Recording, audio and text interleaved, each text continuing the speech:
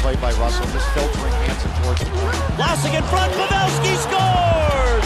What a tip by Joe Pavelski, and the Sharks back in it, it's 3-2.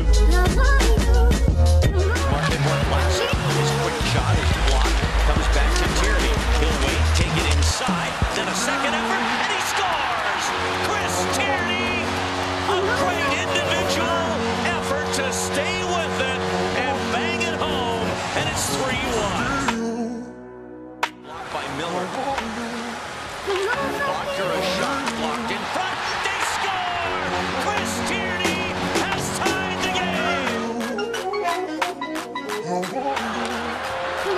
Burns on the move. Pavelski the pass.